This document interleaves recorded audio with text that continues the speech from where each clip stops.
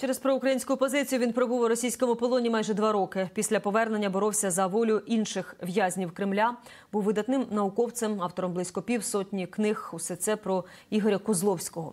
Він відійшов у засвіти вночі 6 вересня. І сьогодні в Михайлівському золотоверхому соборі прощаються із ними. Там перебуває наша кореспондентка Лідія Сиридюк. І вона на зв'язку зі студією. Е, Лідія, вітаю тебе. Розкажи, будь ласка, хто прийшов попрощатися з Ігорем? Власне, які слова сьогодні звучали в його пам'ять? Аню, сьогодні у Михайлівському соборі було е, багато сліз і спогадів. Спогадів про те, яким був Ігор Козловський, яким був видатним релігієзнавцем, яким був патріотом. Просто щирою, хорошою людиною за свої 69 років. Адже сьогодні його життя обірвалося саме е, у віці 69 років, як ти сказала, 6 вересня уночі. І сьогодні до Михайлівського собору прийшли насамперед родичі пана Ігора, люди, які дуже тісно були з ним е, знайомі, а також його е, студенти, його колеги і люди, які навіть не знали його особисто, але дуже захоплювалися його влучним словом і тими знаннями, які він передавав за своє життя. Отож, е, чимало людей сьогодні насправді були у храмі. І провели таку громадську панахиду на вулиці після того, як відспівали його всередині храму, і багато людей е, взяли слово. Це були і політичні діячі, і громадські діячі. Правозахисники кримського представники кримсько-татарського народу, його е, учні, студенти, і всі дуже тепло і щемливо згадували пана Ігоря Козловського. Запам'ятався він дуже багато чим і насправді дуже мож, можна довго розповідати про його е, дуже великий внесок в українську державність, адже сам він родом із Макіївської Донецької області. І на початку окупації Донецька він не змирився із окупаційним режимом і е, залишився е, там, адже вирішив доглядати свого хворого паралізованого сина. І також був дуже сміливим, адже е, на момент, коли російські війська вже зайшли у місто, він організував таку спільну молитву і на їхніх очах організовував молитву е, за Україну. Тож, як я вже сказала, сьогодні дуже багато деталей із його багатогранного життя пригадували. Які саме моменти? Давайте послухаємо. Це неймовірна, неймовірна чуттєвість пана Ігоря, бо він завжди пам'ятав все до дрібниць. От наші розмови в такому потоці подій.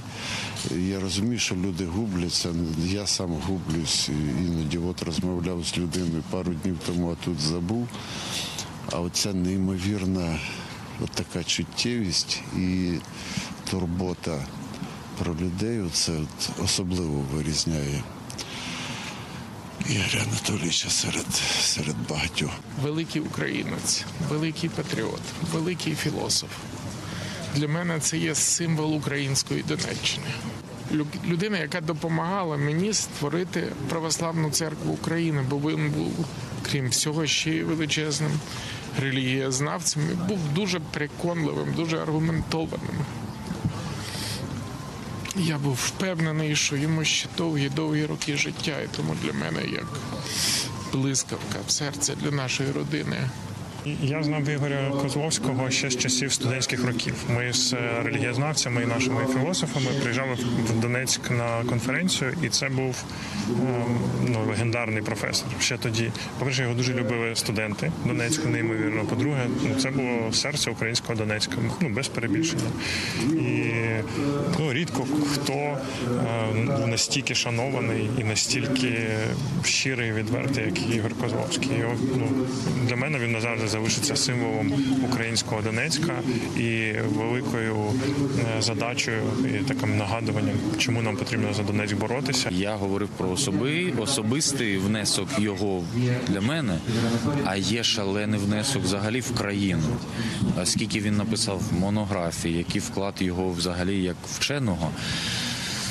Окрім того, що ми втратили нашого вчителя та наставника по нашому життю, е, ще звичайно ми втратили великого вченого. Присутні говорили сьогодні, що пам'ять про Ігоря Козловського залишиться назавжди, попри те, що у віці 69 років від відійшов у засвіти, а поховають видатного релігієзнавця і відданого громадянина своєї країни на байковому кладовищі. Аню. Лідія, дякую тобі за інформацію. Пам'ятатимемо Ігоря Козловського і ми. Е, На цьому ми ставимо крапочку в новинах. Оновлений випуск часу новин вже о 15-й. Будьте з п'ятим і не перемикайтесь. Мене звати Анна Мірошниченко. Дякую, що дивитесь наші розмови. Не забудьте підписатись на наш канал, ставте вподобайки нашим відео. Ну і звісно, коментуйте, щоб розмови з військовими побачили якомога більше українців. Сьогодні у мене в гостях буде начальник штабу і перший заступник командира 65-ї окремої механізованої бригади. Це Богдан Гарнага. Я чекала на розмову з ним фактично рік. Просто в нього не було часу. 24 лютого він зустрів у Сумах і боронив Сумську область, за що власне отримав орден. Потім була і Попасна, і Куп'янськ. Зараз він там займається запорізьким напрямком. Ця, ця розмова вона буде позбавлена, знаєте, таких армійських жартів. Це буде більше суха і жорстока правда про війну. Я дуже хочу, щоб ви її почули. Скільки в тебе нагород? Державних три. Які? Перше це в 15-му році за службу в Україні. І два ордена Богдана Хмельницького, третього і другого ступені. Давай тоді говорити про 24 лютого. Власне, за ті дні ти отримав нагороду е, від президента. Знову ж таки, щемно, бо я із Сум, а ти в той момент був в Сумах, за що тобі величезна подяка. Е, Як все починалося? Все почалося з телефонного дзвінка. Десь е, в 23.50 мені зателефонував мій з чергової частини. Він каже, що позвонили з бригади, сказали тривога. Приїхав час, підняв всіх по тривозі, оскільки частина знаходилася поруч з державним кордоном з Росією, розумів, що, не дай Бог що, можуть нанести по частині удар з артилерії. Приказав вигнати всю техніку в ліс, Е, все майно, яке було загрузити на машини. Тобто мій, моя частина, мій батальйон повинен виїхати на рубіж, який мені вкажуть. І десь в 3.40, да, десь в 3.40 я вийшов на крильцо, поки там жінки в бронежилетах, касках грузили собою справи, я закурив, стою, курю, чую якийсь гул. І бачу, що йдуть е, в залпи, в спишки зі сторони кордону. Позвонив командиру бригаді, кажу, началось. Він мені, що началось? Говорю, війна почалась. В смысле, я говорю, зі сторони кордону, говорю, вже залпи пішли, і авіація говорю, полетіла. Визвав командирів рот, поставив завдання, кому де займати оборону. Сам зібрав штаб, я, ЗНШ, начальник штабу, поїхали до мерії. Приїжджаємо до мерії, там уже чекав мене мер міста Суми, пан Олександр. Я сказав йому, що він включав сирену, тому що ще зранку діти підуть в садочки, щоб, ну, що вже це є небезпечно, щоб люди розуміли. Це правда, що в Сумах е, порожнє місто було? Да, тому що я приїхав туди на той час. Губернатора не було, був заступник губернатора, був мер. Поліція вся уїхала кудись в сторону Полтави, всі поїжджали. СБУ. Е, ну, по крайній мірі, того з СБУ, якого я знав, ну, він тоді не приїхав. Я не, ну, я не знав, де він, я не, навіть не зізванювався. Е, з Нацгвардії тоді більшість всіх, як мені сказав старший ну, начальник Нацгвардії, що в нього всіх забрали на Харків, у нього залишилися лише островики. Срочники, яких він теж е, вивозив там около 30 людей. У мене теж були срочники, яких я загрузив, і е, замов з МПЗ сказав їх кудись подальше відвезти. Ну, вони хоч і військові, але як не як це діти, як я кажу. От, і почали займати оборону Суми, і десь, можливо, через теж це було дуже швидко, ну, може, десь година.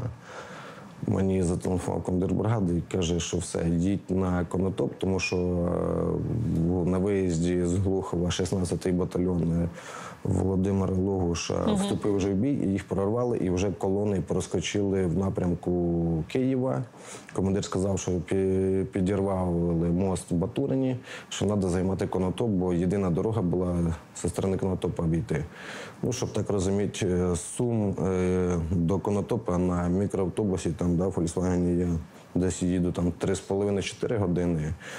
Ну, на батальйоні ми десь їхали туди годин 7, тому що це БРДМи, БМП, ЗІЛи, деяка техніка стара вже, яка там по дорозі просто ставала. І в 16 чимось у нас у мене перша мотопіхотна рота вже вступила в бій. Знайшли дев'ятиповерхівку, вилізли на кришу, забрали мене в машині до мотороли радіостанції, стоїть така магнітна антенна. Забрали цю антенну і мене солдат стояв з магнітною цією антенною і держав зверху, а ми з начальником штабу, маючи там ту саму кропову планшет, там, е, засобами, способом сигнал, WhatsApp, вже здійснювали якесь управління е, підрозділами. 18, да, до 18.00 у нас тривав бій, один загинув. Командир першої мотопіхотної роти Андрій, молодий хлопчина, тільки буквально два роки, як випустився з академії військ, був поранений. І ми тримали до тих пір, поки командир бригади виводив бригаду з Конотопа. Тому що ППД бригади був в Конотопі, то вся документація, все майно, склади СБК. Бригаді потрібно було тил, логістику всю відтягнути назад.